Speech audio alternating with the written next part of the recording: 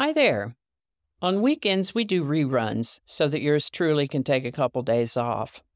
Look for a fresh new episode on Monday. Meanwhile, please enjoy this episode from this day from a previous year. Thank you so much for your indulgence and loyalty, and have a great weekend. Enjoy!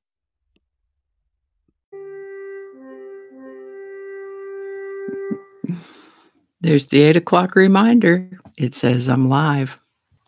Good morning, y'all. Let's see if we can clear that reminder away. I'll probably get a few more. Let's see. Make this screen smaller so that I can see part of it and still see what I need to tell you. Hi there, and welcome to this day in history for December 16th. December 16th is the 350th day of the year in the Gregorian calendar, 351st in leap years, with 15 days remaining to the end of the year. Now, I hope you can hear me. I've got this new mic right here, and I'm not I'm not seeing many green dots there next to the microphone symbol. So I hope you can hear me all right. All righty. Had another very busy day yesterday and did not have time to edit a video. So we're going to go live. Um, I actually thought about replaying one from a previous year, but this new mic sounds so much better and I hope you can hear me.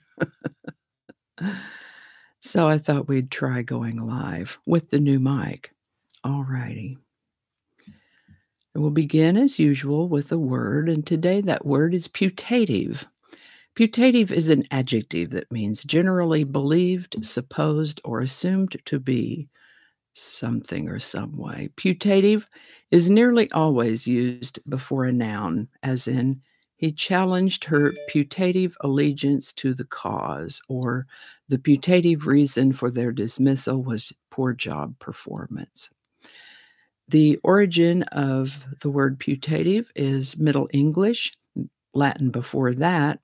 First known use of the word putative is in the 1400s, putative.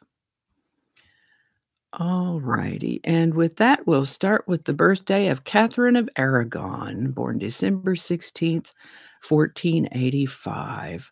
She was a Spanish princess betrothed to Prince Arthur of Wales in order to forge an alliance between Spain and England against France. These European conflicts have been going on for a long time.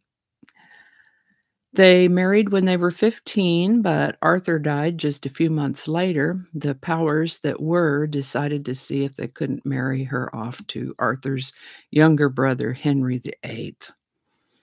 Uh, Henry VIII turned out to be not the nicest person in the world, but um, she did become the first wife of Henry VIII. Uh, he had a wandering eye, though, and so in a few years he became infatuated with somebody else and wanted to have the marriage annulled. Lucky for her, she was willing to be banished rather than executed. so Catherine of Aragon did live to the age of 50. In 1486, the King of Portugal sent an expedition to sail around the southern tip of Africa in hopes of finding a trade route to India instead of the lengthy and difficult overland routes. That task initially fell to a man named Bartolomeu Dias, Dias, who set out on this trip in 1847. Is that right?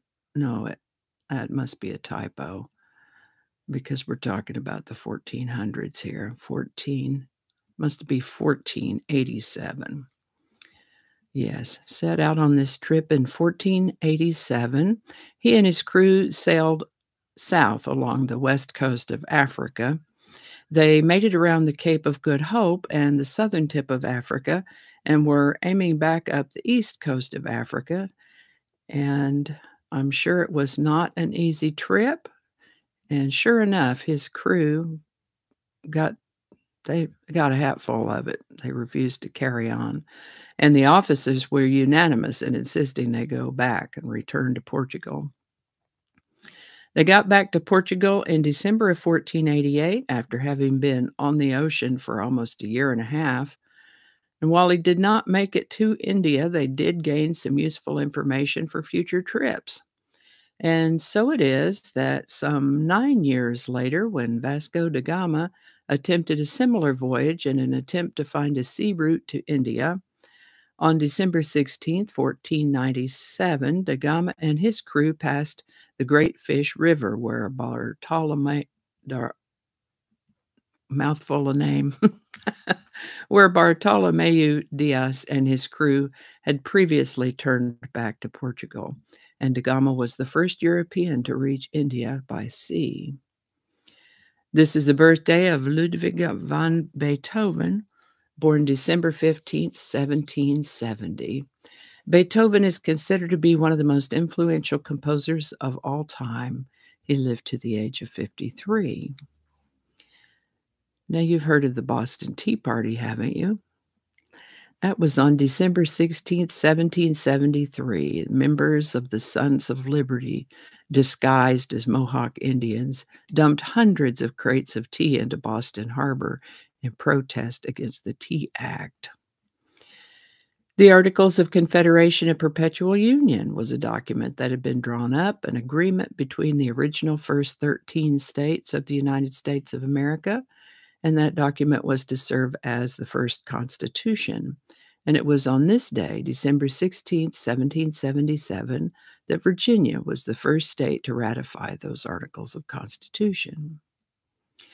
On December 16, 1937, Theodore Cole and Ralph Rowe attempted an escape from Alcatraz prison. Now, a few people back here on the mainland have said that they thought they'd seen the men post escape, but they are generally thought to have perished in the ocean. That's a pretty tough swim from out there. A song called Unbreak My Heart was written by Diane Warren and recorded by Toni Braxton. Released in October of 1996, it reached the number one spot in the Billboard Hot 100 in December of 1996, which is where we find it on December 16th. It held that spot, that number one spot, into January of 1997, number one for a total of 11 weeks. Unbreak My Heart by Toni Braxton, our number one song for December 16th, 1996. And I think that's going to do it for us today. Thank you so much for watching. Check out the description for links and let me know if you have any questions. And have a wonderful day. See you next time.